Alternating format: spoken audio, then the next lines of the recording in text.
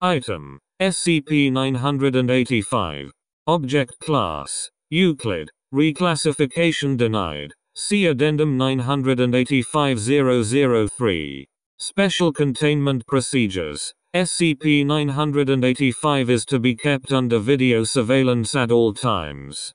Live feed cameras are to be placed in all three sections of SCP-985's housing, and the feeds are to be under observation by at least one Foundation employee at all times.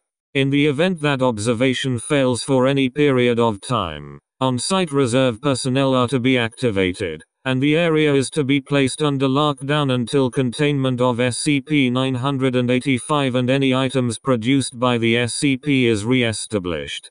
Description SCP-985 is a conveyor baggage claim, located within terminal of the redacted International Airport. According to construction records, SCP-985 was installed at the same time as all other baggage claims in that terminal, and reviews of maintenance reports has failed to produce any leads regarding the unusual properties exhibited by SCP-985. While all sections are kept under observation, SCP-985 operates indistinguishably from any other baggage claim in the terminal and the amount of electricity drawn by the machine remains relatively constant. Should one of the three sections of SCP-985, runway access, conveyor system, or terminal access, cease to be observed, the machine's electrical draw begins to fluctuate rapidly, though no correlation has been determined between these fluctuations and the machine's other effects. At this point, Various items of luggage will begin to enter the observed portions of the machine, said items having no apparent point of entry. These items are of varying shape and size, and in some cases do not correspond to modern security requirements for luggage taken aboard airplanes.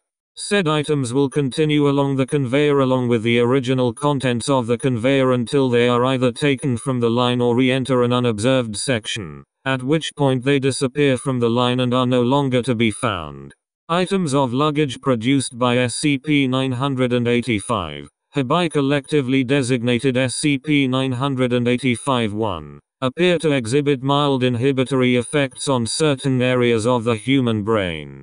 This results in a general inability to distinguish SCP-985-1 luggage from normal baggage of similar appearance resulting in SCP-985-1 items being mistaken by airline passengers for their own belongings and withdrawn mistakenly.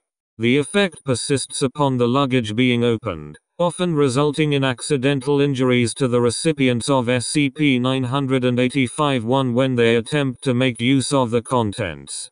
SCP-985 was brought to the Foundation's attention following the events of 19 when a piece of SCP-985-1 luggage was retrieved by a businessman whose connecting flight was delayed.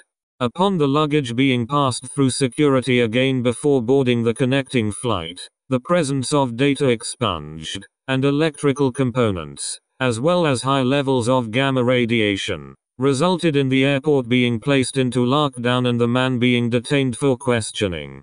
Foundation agents were called to the site following the discovery of the original luggage in the unclaimed baggage area, as well as luggage belonging to several other passengers, all of whom, when contacted, were discovered to have also mistakenly acquired SCP-985-1 luggage.